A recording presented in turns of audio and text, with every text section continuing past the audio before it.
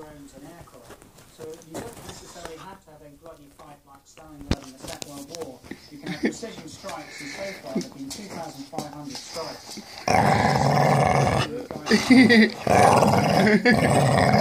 As of yesterday, 46 tunnel systems have been destroyed as well. They look. So you don't necessarily have to have this as Stalingrad. They are reinforcing, but two, two sorts of reinforcements. Firstly, the small groups coming in from Syria. They have to be small groups because otherwise they get targeted by coalition. aircraft. The second they're now arming their- Be good boy. They're not your first line thank you very much for your take. Aye. Sky News. Still plenty more to come.